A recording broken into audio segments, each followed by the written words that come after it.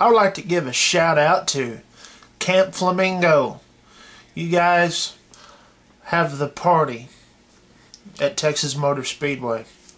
Uh, it's they're on Harmonson Road. If if the people who like to do that kind of stuff on the drag on, on Harmonson Road during the NASCAR races on the weekends, check out the uh, the Camp Flamingo. Those people rock. They're good people. They may be Jimmie Johnson fans, but you know, not all Jimmie Johnson fans are bad. And uh, I like them. They're good people.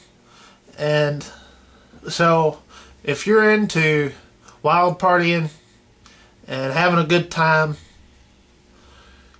go to Camp Flamingo. And if you go at nighttime, don't bring no kids.